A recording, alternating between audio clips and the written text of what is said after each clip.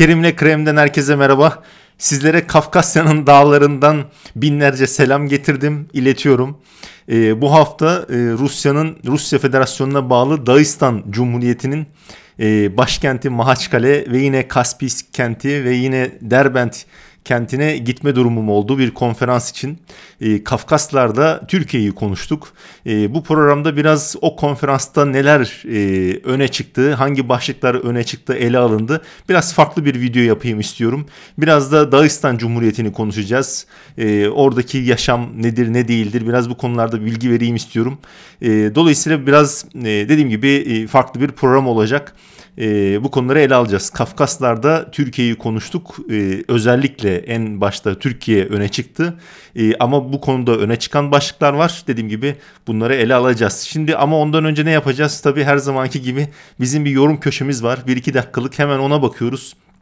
Ee, en son yayına gelen az yorum geldi. Yani bu konuda gerçekten sistemimi iletiyorum. Lütfen yorumlarınızı yazın. İlle de e, güzel yorum veya e, övgü içermesi gerekmiyor. Eleştiri, görüş, her türlü öneri de bekliyorum lütfen. E, muhakkak yorumlarınızı yazarsanız sevinirim.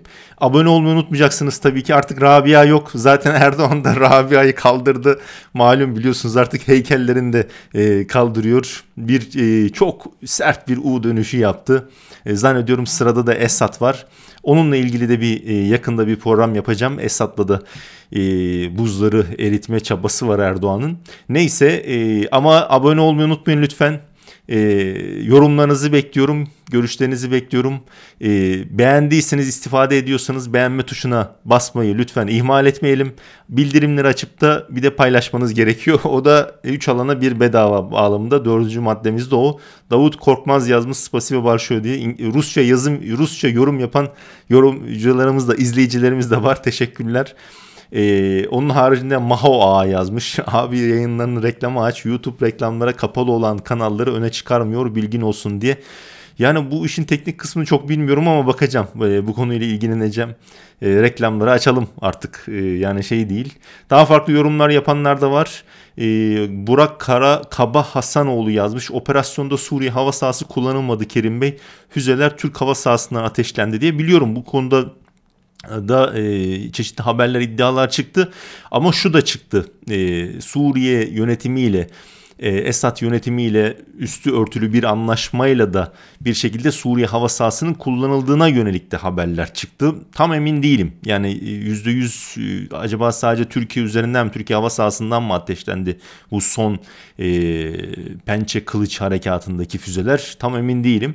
Ama doğru olabilir. Yani sadece zaten kısa bir mesafede 10-15 kilometre sınırdan içeride bombardıman yapıldığı için e, acaba Suriye hava sahasına girmeden de o saldırıyı hava harekatı yapmış olabilir Türkiye. Ama dediğim gibi farklı versiyonlar var. Ama işin e, püf noktası değişmiyor her halükarda. Yani günün sonunda bu harekatı, hava harekatını yapması çok zor değil. Yani Rusya'da, ABD'de bu konuda zaten e, çok engelleyici bir tavır takınmazlar. Önemli olan kara harekatı meselesi. E, ama o konuda daha detaylı ilerleyen günlerde belki yarın yapabilirsem yapacağım başka bir yayın. E, dolayısıyla yorumlarınızı, eleştirinizi bekliyorum. Şimdi geçelim Kafkasya'nın dağlarına. E, biliyorsunuz Dağıstan Cumhuriyeti biraz ondan bahsedeyim. Ee, Rusya'nın bir Kuzey Kafkasya Federal Bölgesi vardır. Bunun içerisinde böyle Çeçenya, Çeçen Cumhuriyeti, İnguşetya, e, Stavropol Krayı, Stavropol Krayı oranın merkezidir. Ee, veya işte Kuzey Ossetya, Alanya bölgesi dahil olmak üzere 7 bölgeden oluşur o.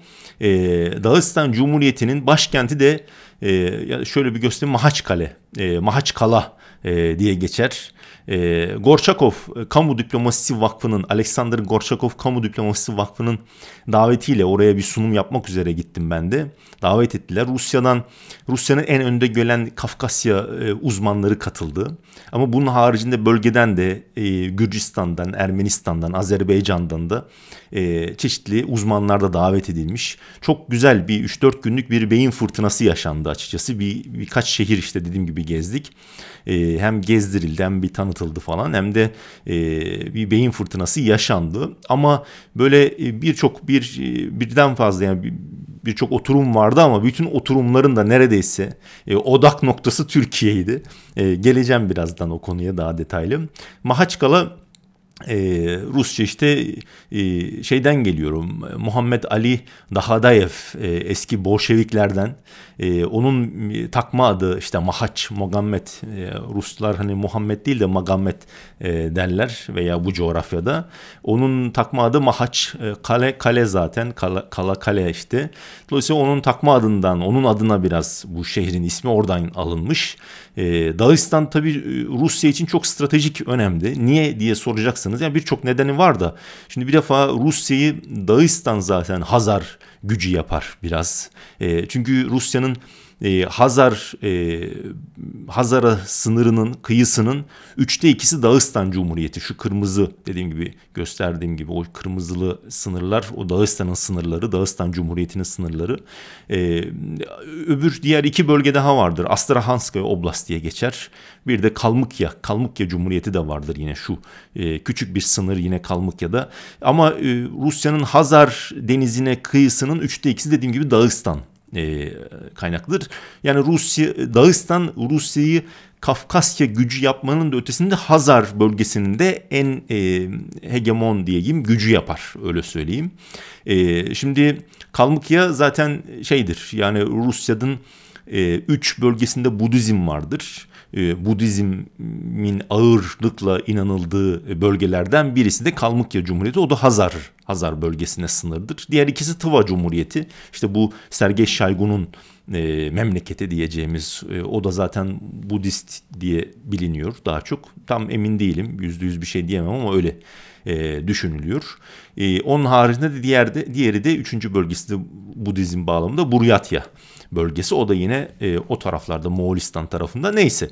Yani uzatmayayım. Dağıstan Cumhuriyeti tabii e, şu açıdan da önemlidir. Yani Kafkasya bölgesine önemli bir aktör yaptığı gibi, Hazar bağlamında önemli bir aktör yaptığı gibi aynı zamanda da Mahaçkale'nin hemen küçük bir güneyinde Kaspis kenti vardır. O Kaspis kentinde de Rusya'nın e, deniz gücü, e, Hazar e, deniz gücü, deniz filosu bulunur.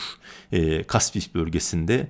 E, daha öncesinde Astrahan bölgesindeydi. Sonrasında ekranda görüyorsunuz Kaspis bölgesine taşınıldı. Şu an itibariyle çok büyük oranda yani %90-95 oranında Kaspis bölgesinde Rusya'nın Hazar filosu lokasyonu yani yerleşmiş durumdadır. Bu bağlamda hani ben de yani son iki yılda gerçekten e, onu da görmek mümkün. Yani Hazar bölgesindeki Hazar filosunu görmek de mümkün. Hani son iki yılda iki yılda Rusya'nın e, Rusya'dan görme durumum oldu. E, Karadeniz'i gördüm Rusya'dan. Ya zaten önceden de görmüştüm ama e, Soçi'den veya Kırım'dan e, hadi o neyse işte e, Baltık e, Kaliningrad'dan bir Baltıkları görme durumu oldu. O St. Petersburg'dan zaten defalarca ki St. Petersburg'da da yaşamıştım zaten. Neyse oradan da görmüştük ama hani Kaliningrad'da zaten asıl Rusya'nın Baltık filosu yerleş, yerleşiktir. Yine St. Petersburg'da yerleşiktir. Sonrasında yine üçüncü olarak Barents Denizi, Kuzey Buz Denizi'ni Murmansk bölgesinden yine Rusların Kuzey Deniz filosunu görme durumum oldu oradan da. Burada da Kaspis'te de Rusya'nın Hazar Deniz filosunu görme imkanım oldu.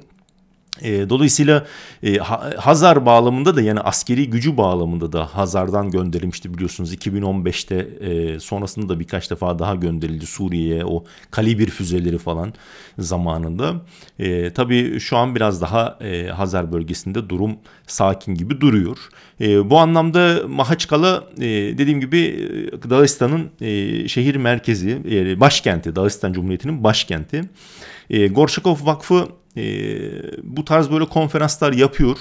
E, Alexander Gorshakov Rusların e, Rus İmparatorluğu'nun biraz e, anlatayım lafı uzatacağım ama kusura bakmayın. Alexander Mihailovich Gorshakov vardır. Rusların en tarihi böyle e, 26 yıl boyunca Dışişleri Bakanlığı Dışişleri Bakanlığı olan e, tarihi şahsiyetlerinden biridir. Onun adına e, Rusya işte Putin'in e, daha doğrusu Kremlin'in kararıyla kurulan bir public diplomasi dediğimiz işte kamuoyu diplomasi, kamu diplomasi vakfıdır o. E, Gorçakov Kamu Diplomasi Vakfı. Bu tarz böyle işte Balkan konferansı, Kafkasya konferansı veya çeşitli böyle Doğu, e, Orta Doğu konferansı gibi konferanslar falan düzenler. E, çeşitli ülkelerden falan çağırır. Garchakov e, Andrei Gromyko yine e, Gromyko e, yine Sovyet döneminin efsanevi e, so, Dışişleri Bakanlarından o da bir 1957'den 85'e kadar falan olması lazım. 27-28 yıl falan bir Dışişleri Bakanlığı yapıyor. Lavrov da ondan sonra onlardan onların ikisinden sonra da Lavrov gelir. Rusya'nın tarihinde en uzun süre Dışişleri Bakanı Bakanlığı koltuğunda oturan kişi olarak o da 2004 yılından beri Lavrov biliyorsunuz 10 ne oldu 18 yıldır Dışişleri Bakanı. Şimdi e, bu anlamda e, şu son dönemde de son iki ayda da gerçekten Rusya'nın e, bu Kafkasya bölgesine de üçüncü gidişim benim. Daha öncesinde de bir iki ay kadar önce bir Nalçik, e, Nalçik'te de yine bir konferans olmuştu. Yine Türkiye-Rusya ilişkileri bağlamında konuşulmuştu. Nalçik'te Kabardin-Balkarya Cumhuriyeti'nin yine bu Kuzey Kafkasya Federal Bölgesi'nin bir bölgesi olarak o yedi bölgeden biri olarak geçen Nalçik onun başkenti Kabardin-Balkarya Cumhuriyeti'nin. O da Çerkezlerin diyarıdır yani. Bir Karaçay Çerkezya vardır. E, bir de Adige Cumhuriyeti vardır. Bunlar böyle her, her biri zaten Çerkez halklarının farklı kolları e, öyle söyleyelim. E, sonrasında bir geçtiğimiz ay yine Pitigorsk'a gitme durumum oldu. Orada da yine bir konferans vardı. Yine Türkiye-Rusya ilişkileri bağlamında. Stavropolski Kray'ın Stavropol Krayı'nın e, merkezi Stavropol kentidir ama bütün Kuzey Kafkasya Federal Bölgesi'nin idari birimi de Pitigorsk kentindedir. Daha önce de biraz bahsetmiştim ondan. Neyse yani Vladikavkaz'da işte görüyorsunuz haritada o da Kuzey Alanya, e, kuz, e, Kuzey Ossetya, Alanya Cumhuriyeti'nin başkenti. Şimdi e, tabii benim anladığım biraz şu var. E, Gorchakov Vakfı'nın bu tarz böyle konferansları e, niye buralarda yapılıyor daha fazla şu son dönemde özellikle? Birincisi zannımca e, bir defa Türkiye ile ilişkiler bağlamında e, şu Ukrayna'daki savaşla birlikte yeni bir sürece de girildi. Kafkasya bağlamında da yeni bir sürece girildi ve özellikle ticari ulaşım hatları bağlamında Kuzey Kafkasya'nın da bir artan önemi var. Çünkü Türkiye'den birçok mal sevkiyatı e, Rusya'ya aynı zamanda karayoluyla Gürcistan üzerinden de sevk ediliyor. E, dolayısıyla e, o Kuzey Kafkasya Cumhuriyetlerinde zaten ciddi bir bir hareketlilik de söz konusu. Ulaşım hatlarının kullanımı bağlamında ve aynı zamanda yine Dağıstan'dan e, Azerbaycan'a giden bu sefer de görme durumumuz oldu. Kuzey Güney Kuzey Güney koridoru bağlamında e, Rusya'dan İran'a ulaşım sonrasında işte e, Basra Körfezi'ne veya diğer coğrafyalara açılım bağlamında Kuzey Koridor, Kuzey Güney koridorunun e, işlerliği biraz arttı öyle söyleyelim. E, bu biraz da mesela Derbent'te falan veya işte şu otoyolunu görüyorsunuz. Yeni otoyollarının inşa edildiğini gördük orada bizzat. E, yani çünkü Kuzey Güney hattının dediğim gibi yoğunluğunun artması e, söz konusu. Bu anlamda hem e, Kafkasya'nın e, Kuzey Kafkasya'nın Rusya bağlamında bakarsak hem de genel olarak Güney Kafkasya'da dahil olmak üzere Kafkasya bölgesinin e, ticari Rusya'nın dış dünyayla özellikle Batı dünyasıyla ticari ekonomik ilişkileri bağlamındaki artan önemi söz konusu. Biraz zannımca onunla ilgili olsa gerek e, bu konferansları. Zaten hem Kafkasya konferansı olduğu için bölgede yapmak da yerelde yapmak da farklı bir e, neticede düşünce veya e, hissiyat onu onu hissedebiliyorsunuz oradaki durumu. Bir de belki üçüncü bir durum olarak zannediyorum tabii kamu diplomasisi vakfı bu ama e, Rusya'nın Batı ile ilişkileri çok e, gerildi yani neredeyse sıfırlanma durumuna geldiği için zaten kamu diplomasisini ister istemez ülke içinde e, gerçekleştirme ve bu alanda Kafkasya'da yapma durumu da dolayısıyla zorunluluk olarak da e, ortaya çıkıyor diye düşünüyorum açıkçası. Şimdi Dağıstan tabii dağlar ülkesi. Yani şu Mahaçkala'dan bir kare göstermiş olayım. Hemen böyle tabii e, şehir yani şu şehir şu şekilde Hazar Denizi birkaç kilometre şehir genişliği arkada da dağlar var. Genelde bu şekilde yani Dağıstan'daki e, şeyler. Dağıstan Cumhuriyeti'nin şehirler. Dağıstan Cumhuriyeti'nin nüfusu 3,5 milyon civarı nüfusu var.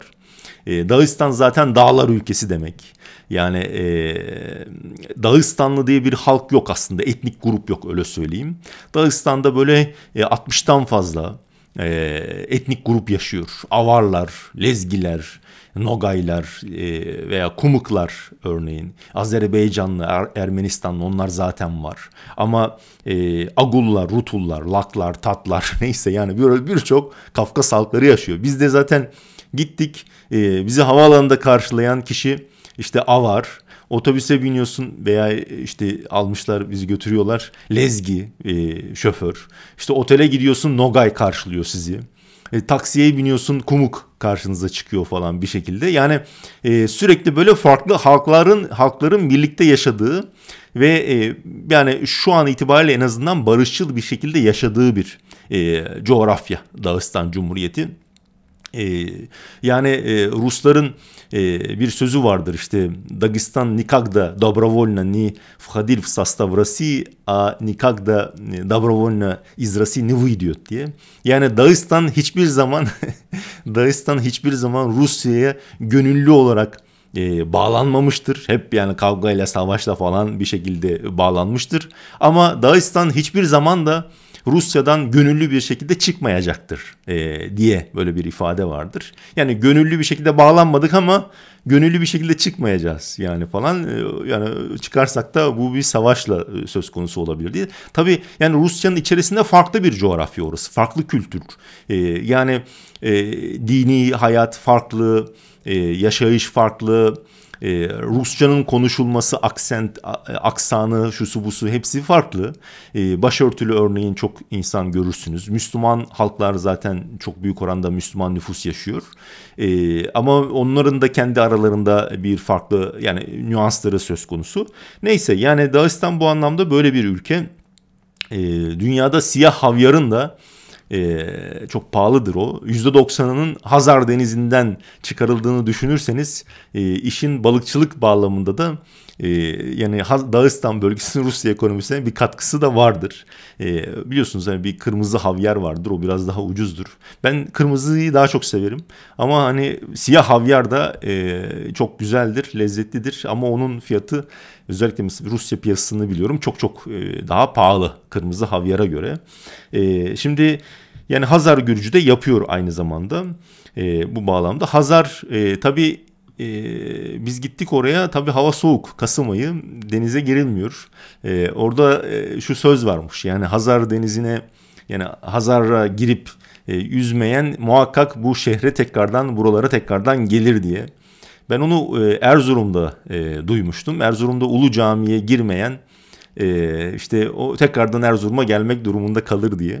İlk gittiğimde Erzurum'a e, Ulu Cami'yi görememiştim. Vaktim yoktu. Bundan bir 20 sene falan olmuştur artık. Sonra gerçekten Erzurum'a tekrar gitme durumum oldu. Bu sefer de tabii Kasım ayında gittiğimiz için Dağıstan'a yüzemedik edemedik. E, ama zannediyorum tekrardan gitme durumumuz olacak o söz itibariyle. Çünkü e, de, Hazar'a gelip de eğer yüzmezsen işte o şekilde tekrardan gelme durumunuz var diye.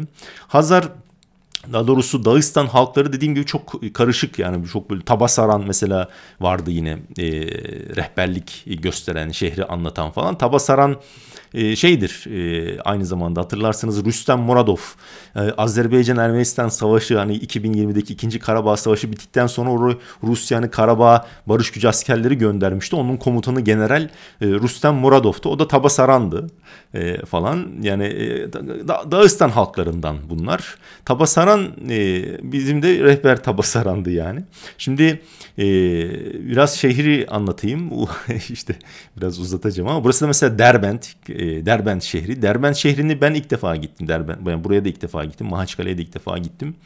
E, Derbent kenti e, bu Narin Kale diye geçiyor. Narin Kale e, falan. E, Derbent aynı zamanda Darband herhalde Farsçadan geçmiş de dar kapı anlamında veya demir kapı diyenler var. Veya Rusça işte Zakritiye Varata diye kapalı kapılar e, anlamında da geliyor. İşte Perslerden e, herhalde yani İranlılardan 1722 yılında e, bir şekilde Rus İmparatorluğu o zamanki e, almış kendisine geçirmiş Derbent kentini. Derbent Rusya'nın en eski e, şehri gerçekten ve Rusya'nın en güneyinde yer alan e, büyük şehir. Şurayı göstereyim. Bunun, bundan ötesi zaten e, köy kasaba yani ve Azerbaycan geliyor Derbent kenti. E, Rusya'nın Kudüs'ü. Çünkü üç, üç büyük din de burası Narinkale. E, üç büyük e, bu şehrin hemen tepesinde biraz. Yani Müslüman, İslam e, yani Pravoslav ne dediğimiz Ortodoks Hristiyanlık ve Yahudiliğin de e, yaygın olduğu bir kent e, Derbent. E, milattan önce e, kurulmuş bir şehir. Milattan önce 600. E, yıllara falan gidiyor kur, şehrin kuruluşu. E, işte bu anlamda e, Rusya'daki ilk cami de e, şurada benim göstereyim bir e, camiyi. Rusya'daki ilk cami de Cuma Mescidi. Bu sadece Rusya'da değil aslında. Sovyet coğrafyasında tüm anlamıyla Sovyet coğrafyasında ilk cami de Cuma Mescidi olarak, Cuma Camisi olarak Derbent'te e, inşa edilmiş 720'li 730'lu yıllarda e, şu cami görüyorsunuz. Bunun böyle bahçesinde ben de Twitter'dan bir paylaştım. E, böyle çınar ağaçları falan böyle bir tam bir şey havası var. E, böyle İstanbul'daki böyle e, şey camilere gitmişsiniz gibi işte Süleymaniye veya bilmiyorum e, Eyüp Sultan artık Sultanahmet git, oralara gitmişsiniz gibi geliyor biraz. E, işte Nar, Narinkale dediğim gibi e, kilisenin de olduğu, Ermeni, Ermeni kilisesinin de olduğu, başka kiliselerin de olduğu, Rus kiliselerinin de olduğu bir kent. E, ve bizim Mardin'e de çok benziyor. Türkiye'nin Mardin'e de çok benziyor gerçekten ve bir, bir, bir, bir, bir barış havası içerisinde de yaşadıklarını en azından ben gözlemledim. Öyle söyleyeyim. Şu amca da malum e, kepi takmış. Tam bizim Türkiye'deki şeyi anımsatıyor gerçekten. E, tabii şehir ilginç bir şehir. E, böyle e, mistik bir havası var, ruhani bir havası var. E, Derbent'in e, yani e, ezan mesela yine paylaşmıştım. E, burası da yine Derbent'ten. E, ezan mesela sesli bir şekilde okunuyor. E, şöyle kaleden e, bir çekim yapmıştım. Mesela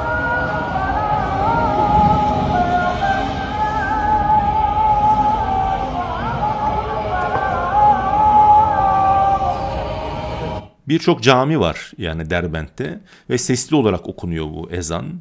Ee, aynı zamanda kilisenin e, çanı da veya neyse artık e, yine sesli bir şekilde. Yani farklı dinler birlikte bir yaşam e, atmosferi geliştirebilmişler gerçekten. Bu önemli bir şey yani e, bence. E, burada bir e, Rusya şey propagandası yapmıyorum ama olanı anlatmak lazım gerçekten. E, diğer yandan şehir ilk Derbent kenti mesela ilk kurulduğunda daha ziyade kaleye yakın olan e, kesim şu şu kesim özellikle. Şurada daha çok Müslümanlar yaşıyormuş. E, sonrasında işte e, Hristiyan mahallesi kurulmuş diyebiliriz. Belki şurada bakın minareler var. E, caminin, Cuma mescidinin minareleri. E, pardon bu diğer başka bir mescidin minaresi. Şurada da e, diğer caminin, Cuma mescidinin olması lazım. Neyse e, şurada görüyorsunuz şu hemen arkada yuvarlak içine alıyorum. Orada Ermeni kilisesinin olduğu yer. Yani ilk önce bir Müslüman mahallesinin olduğu yer var. Sonrasında arkada Hristiyan mahallesinin olduğu yer. Denize en yakın olan kısımda şu arkada zaten Hazar Denizi gözüküyor. Denize en yakın olan kısımda daha ziyade Yahudi nüfusun yaşadığı yermiş. Tabii şu an itibariyle daha karışık bir durum söz konusu. Ee, ama e, her anlamda çok e, gerçekten böyle e, farklı etnik grupların, farklı dini grupların yaşadığı bir kent olduğunu böyle e, sokaklarından hissediyorsunuz, görüyorsunuz bunu zaten bizzat. E, onu belirtmiş olayım. Mesela yine e, şu sokaklar, yani bu birçok sokak vardı ve bunlar hep böyle bana Mardin'i hatırlatıyor. Yani böyle e, biraz da böyle taş e, mimari söz konusu. E, açılmadı bu da ama neyse. Yani he, yani böyle taş mimari. Mesela şu Şii Camii var görüyorsunuz. Fatıma'nın e, eli e, olarak orada bir beş parmak hani o gösteriliyor. E, neyse yani böyle Şii nüfusunda olduğu, Sünni nüfusunda olduğu, e, mimarinin böyle bir taraftan taş e, medrese veya taş e, mektep neyse veya taş mimarinin de olduğu ama aynı zamanda Sovyet mimarisinin de olduğu ve günümüz mimarisinin de olduğu e, böyle farklı etnik dini e, gruplardan insanların bir araya geldiği bir e, coğrafya. Üç dinin de böyle kalıbel e, Truh religi diye geçer Derbent. Kalıbel beşik demek. Üç dinin beşiği e, e bir e, şehir Rusya açısından bakıldığında Derbent kenti.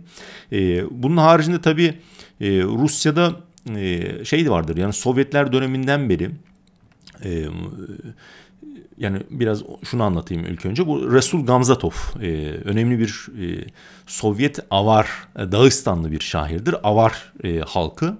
E, 2003 yılında zannediyorum e, vefat ediyor. Putin'le bir görüşmesi de var. E, bu oradan bir fotoğraf.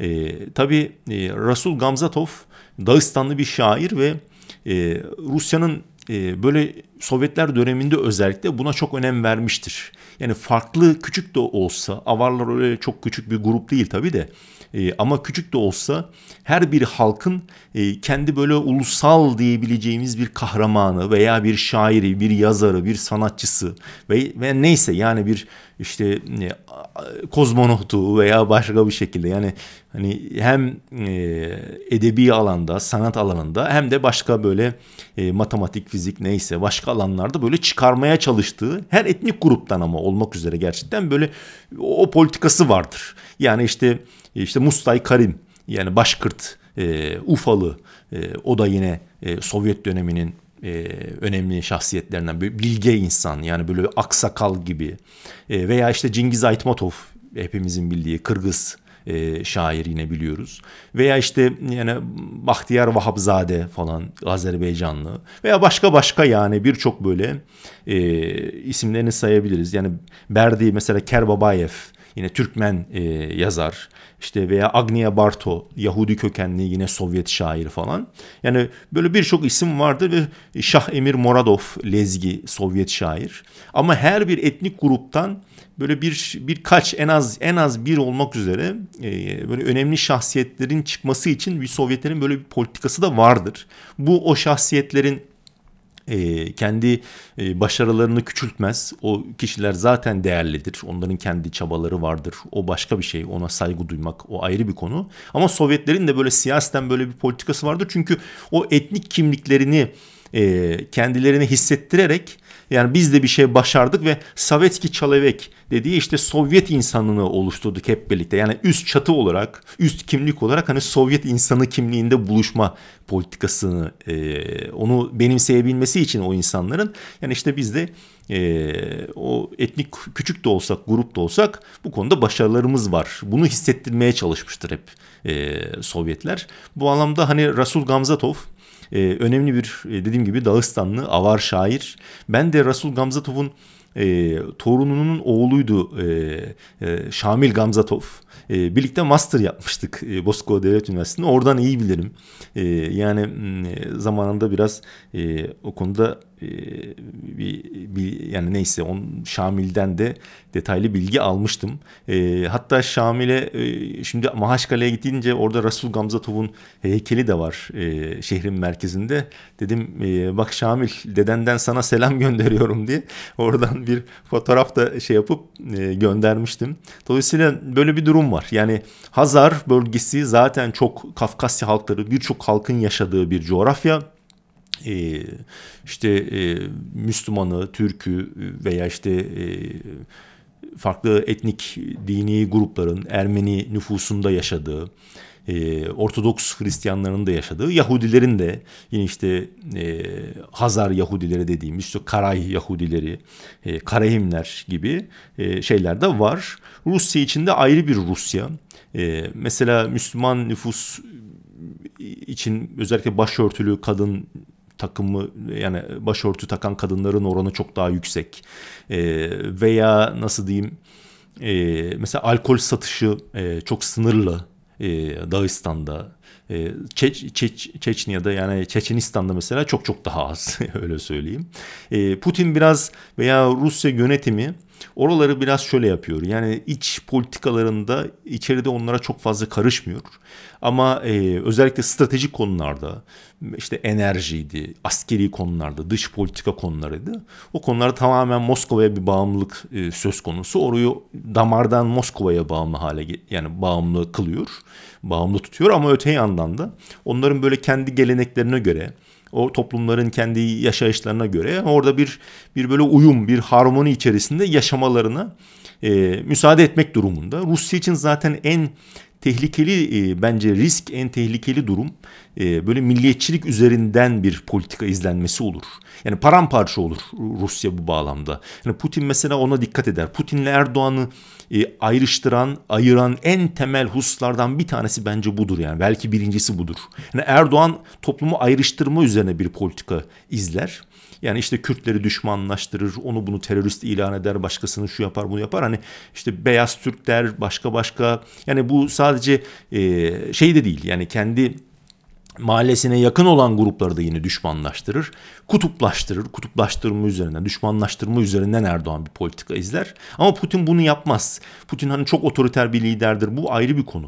Ama 200 civarı etnik, dini, mezhebi neyse grubun yaşadığı bir Rusya'da eğer ayrıştırma üzerinden bir politika izlerseniz e, paramparça olur Rusya ve en başta da parçalanacağı yerlerden birisi Kafkasya coğrafyası olur. Orayı tutması çok zorlaşır gerçekten. Dolayısıyla hani Putin buna çok önem verir. Hani Rus dünyası falan der yeri gelince ama Rus dünyası de, derken gidip Dağıstanlı'yı, Avarları, Lezgi'yi, şunu bunu veya başka e, etnik grubu böyle aşağılama gibi bir politika ben en azından hiç şahit olmadım öyle söyleyeyim. Hani böyle Erdoğan o affedersiniz Ermeni dediği o e, algı o e, neyse o sözleri ben hani Putin'den işitmedim. Bu Putin'i övgü anlamında söylemiyorum ama Rusya'nın gerçeğine aykırı. Eğer o politika izlenirse zaten e, Rusya'nın e, parçalanması çok e, çok hızlı olur. E, o kanaatteyim. Böyle Dağıstan'da da mesela yani böyle a, e, yani Arapça levhalar ee, yani İngilizce'de var, Arapça levhalarda şunlar bunlar da yani böyle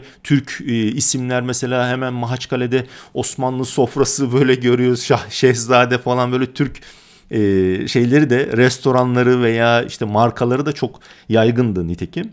Neyse yani demek istediğim biraz e, hem benim açımdan da gerçekten e, öğretici oldu hem de ee, onun haricinde e, bu tarz böyle Kafkas gibi bir konferansın Dağıstan'da yapılması da zannımca e, çok faydalı oldu. Şimdi geçelim şeye bu kadar uzattıktan sonra tabii her şeyden bahsedemeyeceğim e, konferansta neler konuşuldu ama birkaç başlık üç başlık e, üzerinde durayım.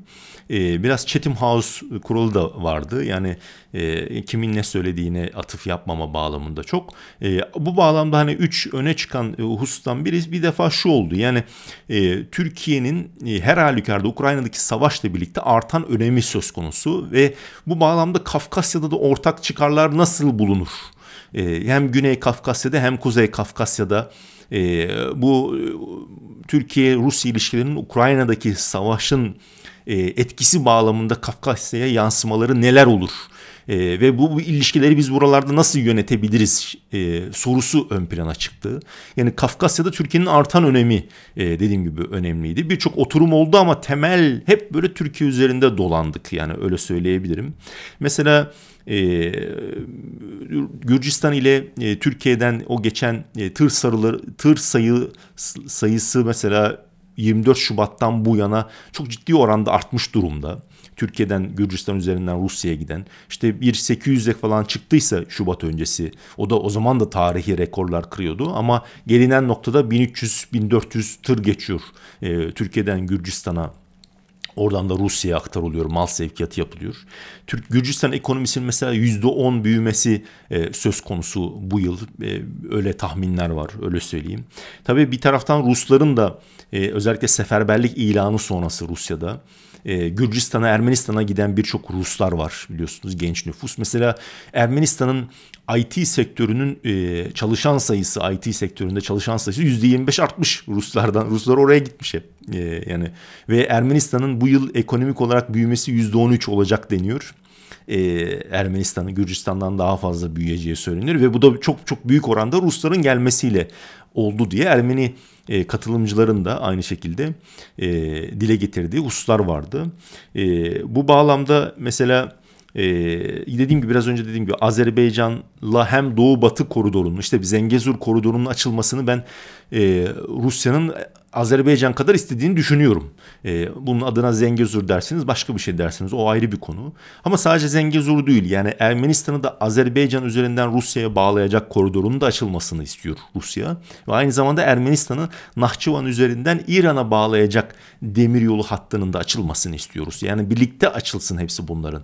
E, sadece Ermenistan yani o Megri koridorundan veya Sünnik bölgesinden geçecek şekilde Zengezur koridorunun açılması değil toplu bir şekilde e, bu hatların devreye girip e, daha böyle e, Rusya'yı ekonomik olarak nefes aldıracak, daha fazla nefes aldıracak bir e, duruma kavuşulmasını istiyor bu bağlamda. Ama Türkiye'nin rolü çok artmış durumda. E, mesela bir konuşmacı e, bu da güzeldi. Mesela Türkiye'yi düşman veya dost kategorisinde değerlendirmemek lazım. Türkiye bizim komşumuz ve hep komşumuz olarak da kalmaya devam edecek dendi. E, bir NATO üyesi olabilir ama hani e, komşumuz ve komşumuz olarak kalmaya devam edecek. Böyle kategoriler üzerinden değerlendirmemek vurgusu bence önemliydi. Türkiye'yi böyle güçlü veya zayıf kategorilere e, ayırmayıp yani belli bir gücü var. Dünya lideri değil mesela yine bir katılımcının söylediği. Dünya lideri değil ama bir bölgesel lider olarak bölgesel bölge ülkesi önemli bir bölge ülkesi olarak e, Kafkasya'daki etkisini arttırdığını her geçen gün görüyoruz e, diyen yine uzmanlar vardı. Ben kendi görüşlerimi bahsetmiyorum bu, bu yayında çünkü kendi görüşlerimi zaten biliyorsunuz ve başka yayınlarda defalarca anlatıyorum üstünden geçiyorum zaten ilerleyen yayınlarda da yine devam edeceğim. E, ama hani ben genel hava yani bunlar öne çıktı bağlamında bu 3 e, üç noktayı ele alıyorum. Mesela günlük hayatta dediğim gibi Kafkasya'da özellikle Kuzey Kafkasya'da da yine aynı şekilde Türkiye'nin o e, ekonomik olarak hatta dini çeşitli gruplar üzerinden etkisinin arttığını bunu Rus katılımcılar da söylüyor. Yereldeki uzmanlar da söyledim. E, aynı şekilde.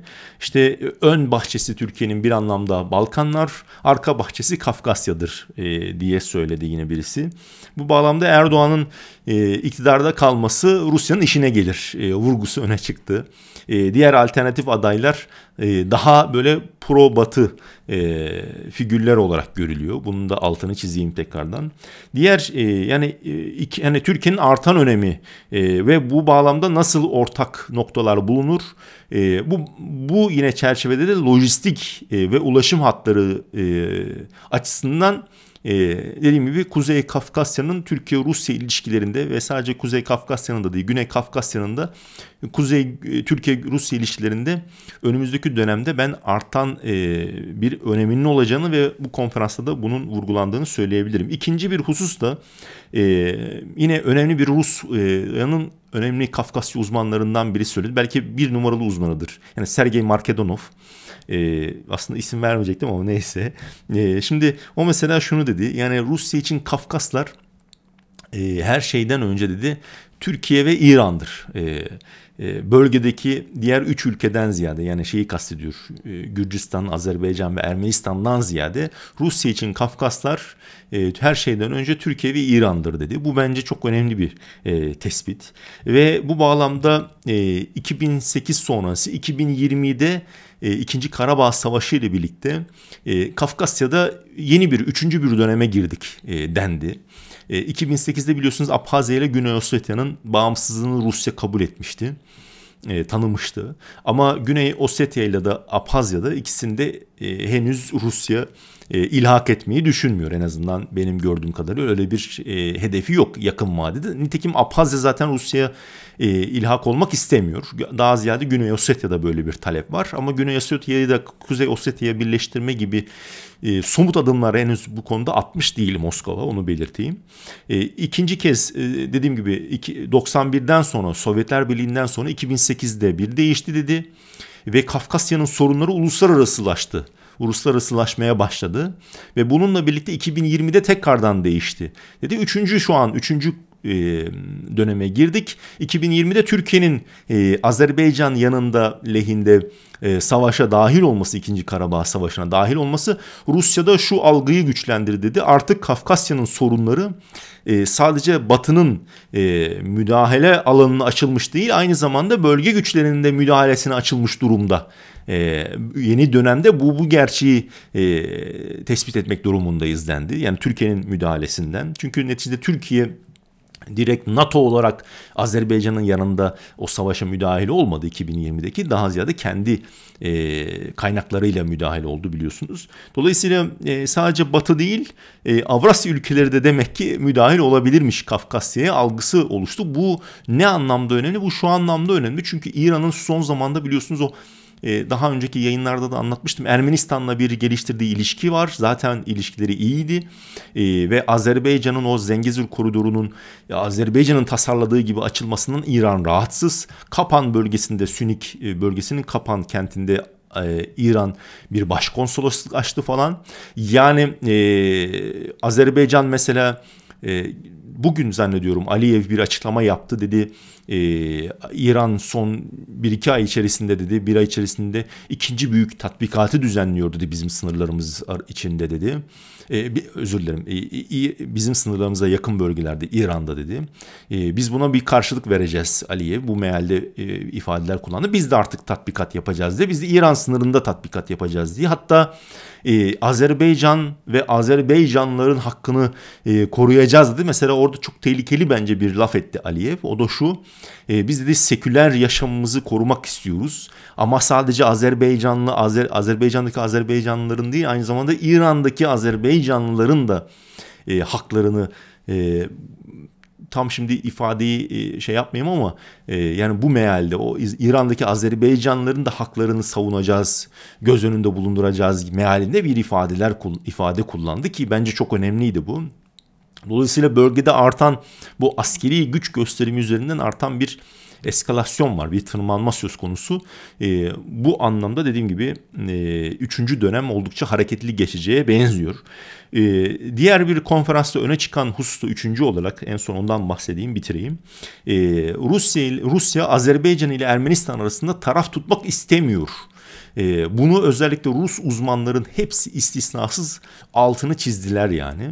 E, dediler ki e, yani Amerika'da Yunanistan'la e, Türkiye arasında taraf tutmamaya çalışıyor falan. Ya, tabii Yunanistan'la Türkiye ikisi de NATO üyesi. Burada Ermenistan KGAÖ üyesi, Kolektif Güvenlik Anlaşması Örgütü Rus NATO'su üyesi ama Azerbaycan Rus NATO'su üyesi değil. Hani mantıken bekliyorsunuz ki işte Ermenistan'ın yanında yer alması lazım Rusya'nın ve Azerbaycan'a sert bir e, güç gösterimi ne gitmesi gerekirdi herhalde diye tahmin edenler birçokları var. Ama mesele 30 yıl öncesinde çok farklı bir durumdayız biz. 30 yıl öncesinde ilk Karabağ Savaşı'nda Ermenistan'ın yanında yer aldı Rusya. Ama o zaman Azerbaycan'ın durumuyla şu anki Azerbaycan'ın durumu aynı değil. Şu an şu an Azerbaycan-Rusya ilişkileri de aynı değil 30 yıl öncesi gibi de değil. Azerbaycan'ın kendi uluslararası konumu da aynı değil 30 yıl önceki gibi değil.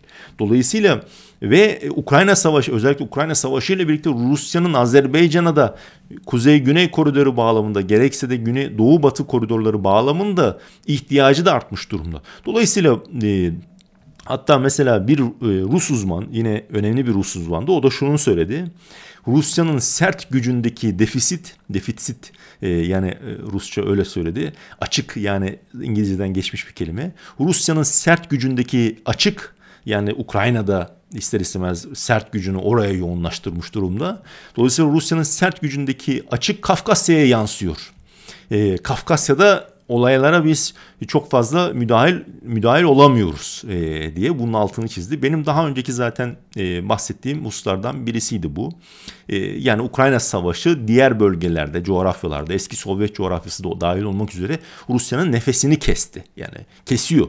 E, bunun altını çizmek lazım. Dolayısıyla mesela bir, bir uzman, bir Rus uzman yine e, şunu söyledi. Eylül ayındaki dedi bu en son. O konuda da yine detaylı video yapmıştım hatırlarsanız. Ermenistan'da yaşanan çatışmalar, o Ermenistan-Azerbaycan sınırında yaşanan çatışmalar. Azerbaycan biraz içeri girmişti. Ermenistan'ın kendi topraklarının içine girmişti gerçekten.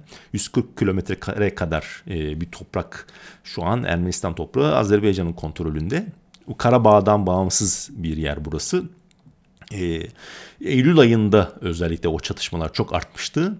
E, ama Eylül ayındaki çatışmalar dedi Rusya'nın e, bir tepki verememesi dedi Ermenistan'daki Rusya'nın imajına müthiş bir zarar verdi e, tespitinde bulundu Rus uzman ki bence de öyle oldu. Mesela e, birkaç gün önce onunla ilgili daha ön, sonraki günlerde video yapacağım. Ermenistan'da çarşamba günü Kolektif Güvenlik Anlaşması örgütünün bir zirvesi oldu ve e, orada mesela çeşitli skandallar bence skandallar diyebileceğimiz e, durumlar yaşandı. Neyse onun detayını o videoya bırakayım. E, ama yani e, şunun şunun altını çizdi. Mesela bir Rus uzman da e, eğer Ermenistan Azerbaycan arasındaki çatışmalara Rusya askeri olarak müdahil olduğu takdirde alacağı zarar e, Ermenistan'da imajına imajına yönelik şu an aldığı e, veya vurulan darbelerden çok daha e, büyük bir zarar alacak. Dolayısıyla e, bizim için mantıklı olan izlememiz gereken politika e, bu süreci Ermenistan ile Azerbaycan arasındaki e, o e, süreci bir şekilde diplomatik siyasi yollarla çözüme kavuşturmak. Hele şu dönemde Ukrayna'da başımız dertteyken e, askeri olarak Azerbaycan'ın karşısına çıkma gibi bir durumumuz yok dendi. Bu mesela Ermenistan'dan gelen katılımcıları e, rahatsız etti. Azerbaycan'dan gelenleri de memnun etti. Onun altında çizeyim. E, bu bağlamda yine e, Mesela e, ben bilmiyordum. E, Çin Dışişleri Bakanı mesela 3 Kafkas ülkesini ziyaret etmiş ve mesela bir Rus uzman onu söyledi. Dedi ki Çin de artık Kafkasya'yı öğrenmeye başladı. Yeni bir aktör olarak e, burada da artık kendine konum mevzi kazanmaya başladı. Ama toprak bütünlüğü meselesi hani e, Karabağ meselesi olsun gerek Abhazya, Güney Ossetya meselesi olsun. Yani Çin'in önem verdiği bir mesele biliyorsunuz. Hani tek Çin politikası gereği. E, dolayısıyla hani e, o, o, o konularda böyle Çin'in e, nasıl diyelim e, ikili biraz tavrı söz konusu. Yani Abhazya'yı Güney Ossetya bağımsız ülkeler olarak tanımıyor. Rusya'nın yaptığını yapmıyor. Ama de facto olarak e, buna da böyle sahada falan karşı çıkmıyor. E, yani biraz ortada gitmeye çalışan bir politika izliyor. Ama e, Rus uzmanın e, Çin Kafkasya'yı öğrenmeye başladı demiş olması bence önemli ve hatta şunun altı çizildi. Bölgede dedi 3 Güney Kafkasya ülkesinden Çin'le serbest ticaret anlaşması yapan ilk ülke Gürcistan. Ve ilk ülke NATO'ya en yakın e, izleyen ülke o da Gürcistan oldu e, dendi. Bu da önemliydi bence.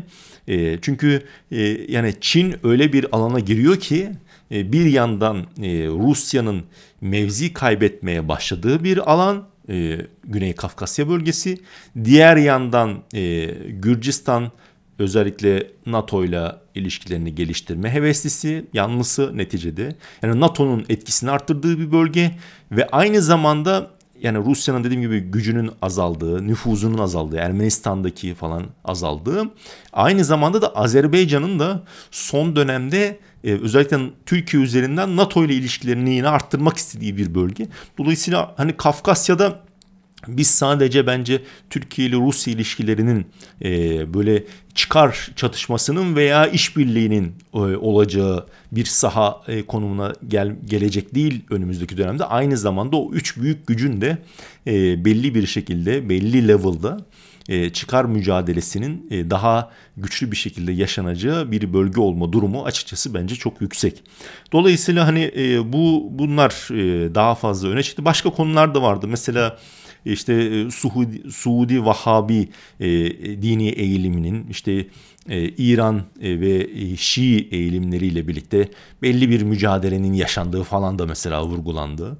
Başka başka hususlar da dile getirildi ama ben daha fazla uzatmayıp burada bitireyim. Kafkaslar'da Türkiye'yi konuşmak e, bu şekilde ele alındı. Sonuç olarak da e, şunu söyleyebilirim belki. E, Ukrayna e, savaşı ile birlikte Kafkasya bölgesinde e, Türkiye-Rusya ilişkilerinin daha fazla daha yakın mercekten ele alınması gereken bir süreçle karşı karşıyayız. Ben bunu yayınlarda ele alacağım, işleyeceğim zaman e, el verdikçe muhakkak. Ve özellikle de 2025 yılında biliyorsunuz Karabağ'daki Rus barış gücü askerlerinin 5 yıllık neticede süresi var. Belki eğer karşı çıkmazlarsa 6 ay öncesine kadar Ermenistan veya Ermenistan, Ermenistan veya Azerbaycan bir 5 yıl daha uzatılması durumu var. Ama böyle 2025'e doğru yaklaştıkça da Rus barış gücünün ve bence aynı zamanda Ermenistan'daki Rus askeri gücünün e, varlığı ile ilgili e, tartışmalarda ve yine Ermenistan'ın kolektif güvenlik anlaşması örgütü üyeliği ile ilgili tartışmalarda bence artacaktır. Bunu da sonuç olarak bu e, videoda belirtmiş olayım. Evet anlatmak istediklerim bu kadar şimdilik. dolayısıyla ne unutmayacağız lütfen. Rabia yok artık. Rabia Sisi ile de Barış Erdoğan. Ne var? abone olmayı unutmayın lütfen. E, görüşlerinizi, yorumlarınızı, eleştirilerinizi bekliyorum. Yazarsanız çok sevinirim. E, bildirimleri açıp paylaşırsanız harika olur. Ve beğendiyseniz, istifade ettiyseniz muhakkak beğenme tuşuna basın lütfen. Memnun olurum gerçekten. Sevgi ve sağlıcakla kalın diyorum. İyi günler. Görüşmek üzere.